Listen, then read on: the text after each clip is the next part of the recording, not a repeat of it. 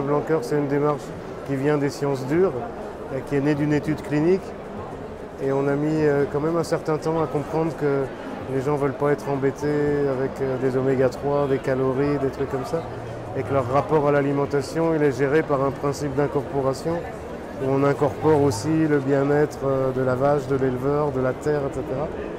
Et du coup, une note globale qui prendrait en compte tous les aspects de la nutrition, sciences sociales, euh, le local, euh, la rémunération de l'éleveur, la place dans le tissu économique local, etc. C'est incontestablement une, initiative qui nous plaît parce qu'elle est en, complète opposition avec le marketing de segmentation. On vend des produits, euh, celui-là il est sans OGM, celui-là il est produit en France, celui-là il est bon pour ta santé, etc.